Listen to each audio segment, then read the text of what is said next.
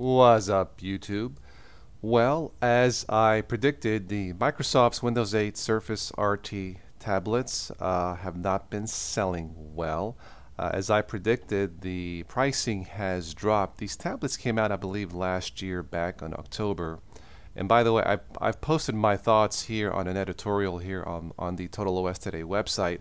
Uh, I've spoken about this before in previous uploads and previous podcasts, but the Surface tablet came out last year before Christmas, I believe, and there was there was a fatal flaw with the marketing of this device.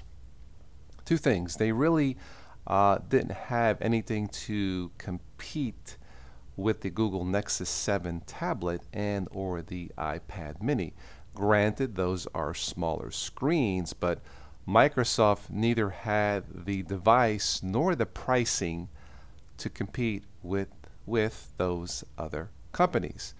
Well, as I figured would happen, uh, since you can't shrink the size of the screen once you create it, of course, the only the only thing that you can do is shrink uh, the size of the pricing, which they have.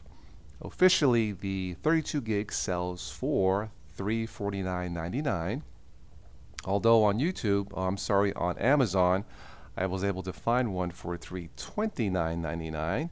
And officially, the 64 gigabyte sells for $499.99. Uh, I won't be surprised if these, um, will not be surprised at all if these prices drop a little bit more. But as it stands right now, my recommendation, if you like Windows products, and I like, I love Windows 7, I love my Xbox, and you're looking for a new tablet that looks terrific and is user friendly.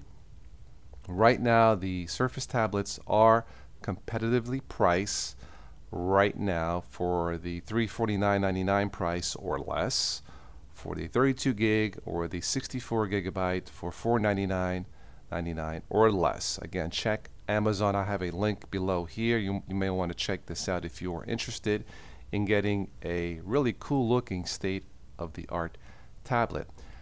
And the best thing about the Windows 8 uh, mobile devices, you can play the new Halo game on it.